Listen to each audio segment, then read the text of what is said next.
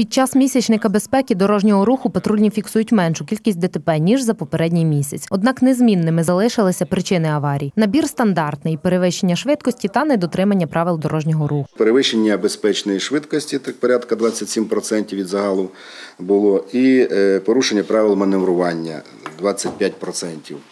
Е, По видах, по видах скоєння, в основному зіткнення у нас було найбільший вид, і е, наїзд на пішоди велосипедиста, який складає теж 9%. Окрім цього, під час місячника патрульні затримали майже дві сотні водіїв на підпитку. 187 порушень е, керування автомобілем в нетверезому стані. 187 е, виявлено та задокументовано водіїв.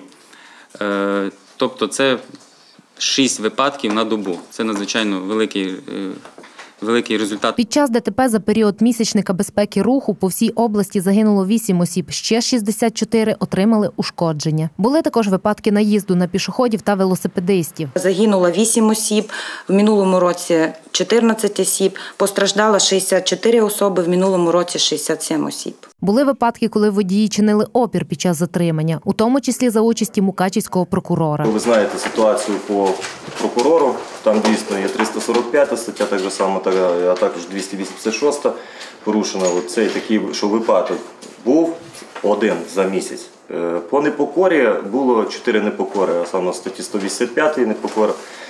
Е, Були складені відповідні адміністративні матеріали. Е, Також аналогічно там йшла і 185, і дрібне хуліганство 173.